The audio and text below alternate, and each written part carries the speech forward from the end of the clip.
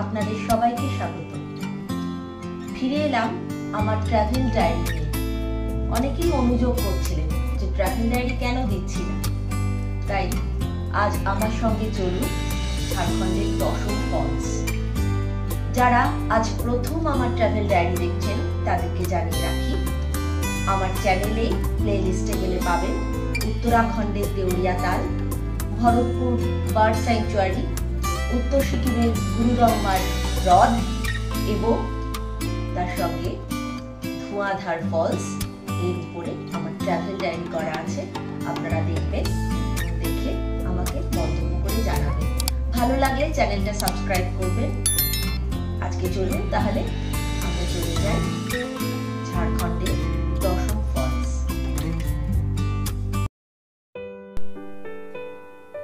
দশম ফলস যারা দেখেননি, তাদেরকে বলব, অবশ্যই ঘন ঘোর বর্ষায় দেখতে চলুন এই জলপ্রপাত।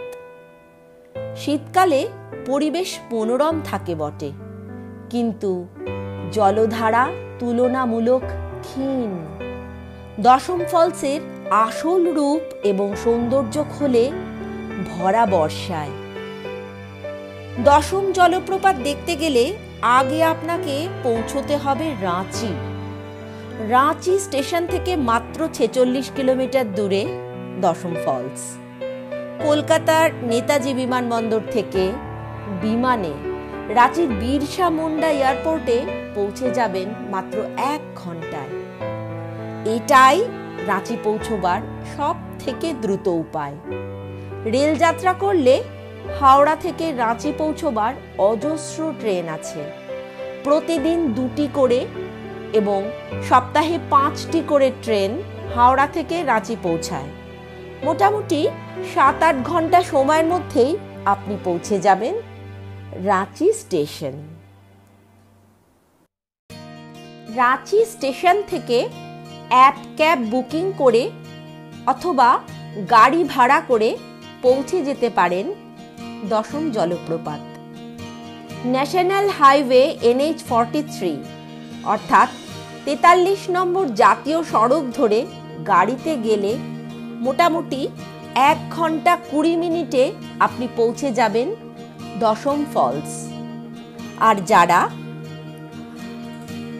বিমানবন্দরে নামবেন, বিরসা মুন্ডা বিমানবন্দর, তারা মাত্র একত্রিশ কিলোমিটার পাড়ি দিলেই দশম ফলসে পৌঁছে যাবেন।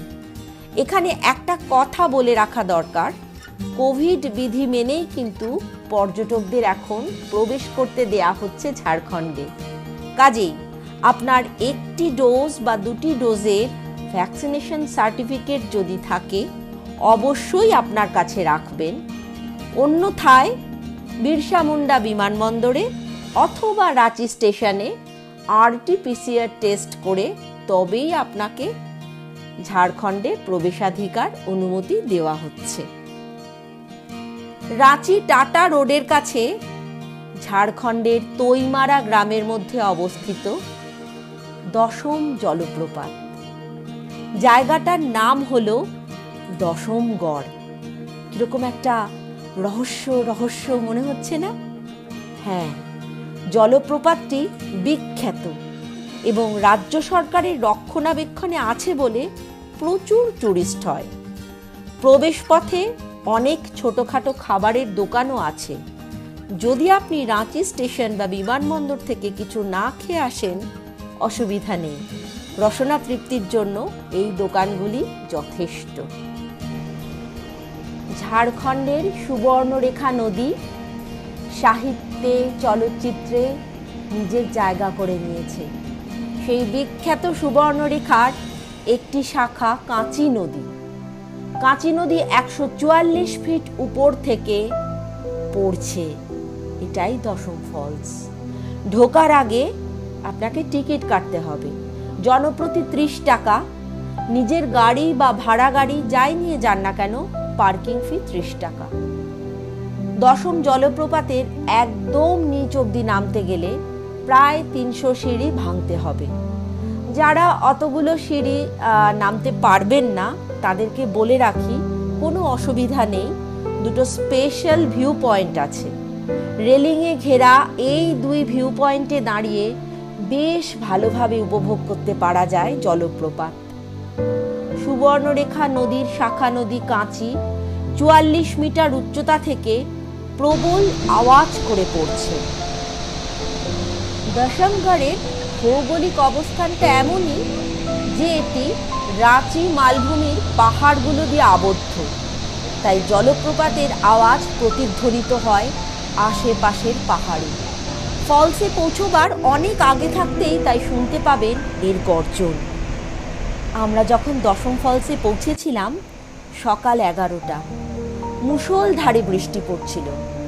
অত্যুৎসাহী কিছু পর্যটক রীতিমতো রেনকোট পরে ছাতা মাথায় ফলস দেখতে নেমে পড়লেন আমরা অপেক্ষা করতে থাকলাম বৃষ্টিটা থামার জন্য।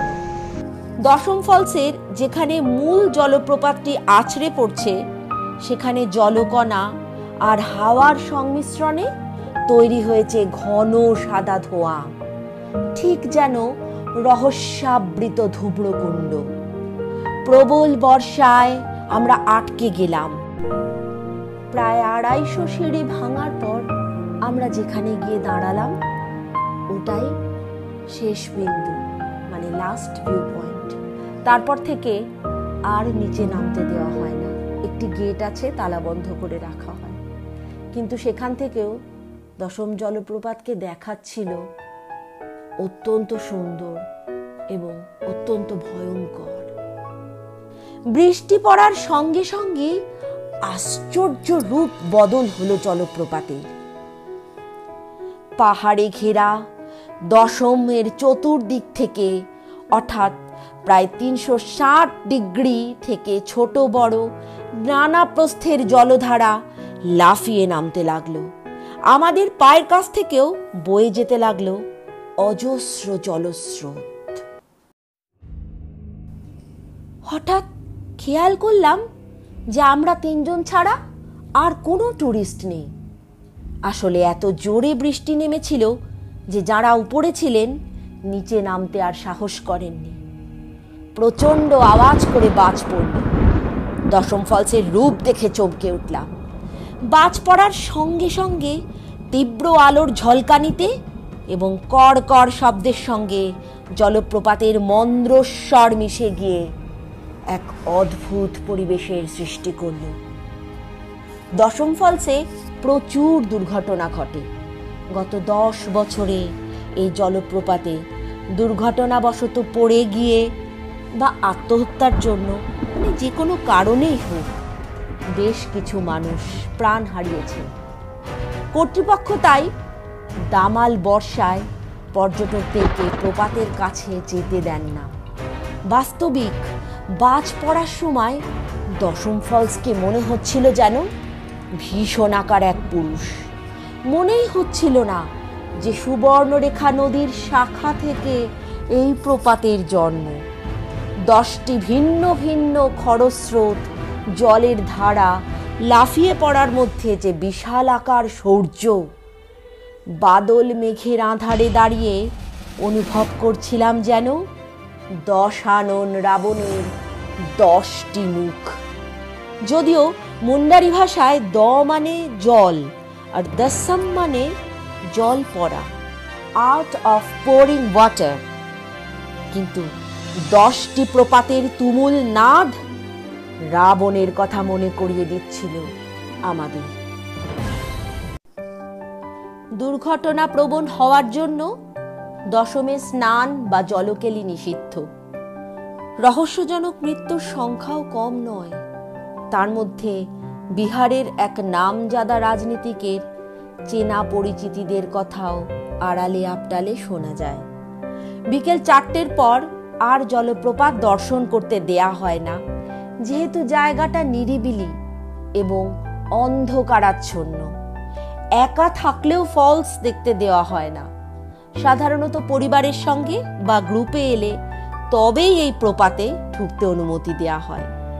পিকনিক করার জন্য অনুপম জায়গা দশম ফলস যদিও আগে থাকতে অনুমতি নিতে হয়।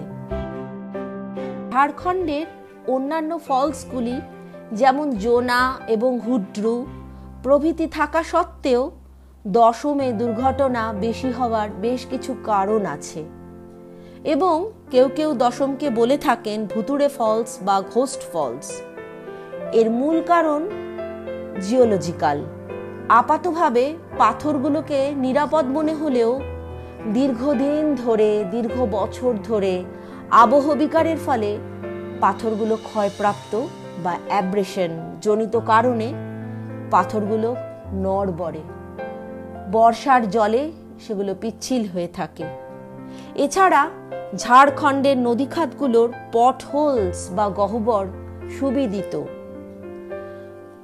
ঝাড়খণ্ডের এই নদীর পটহোলসগুলো এতটাই বড় এবং এতটাই বিপজ্জনক যে কথিত একটা হাতিও ডুবে যেতে পারে।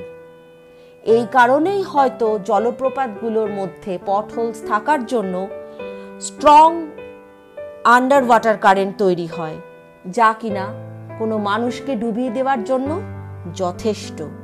তাই পর্যটকদেরকে দশম জলপ্রপাতের কাছে যেতে বারণ করা হয় এবং দূর থেকে এই জলপ্রপাতের সৌন্দর্য উপভোগ করাই সব থেকে নিরাপদ।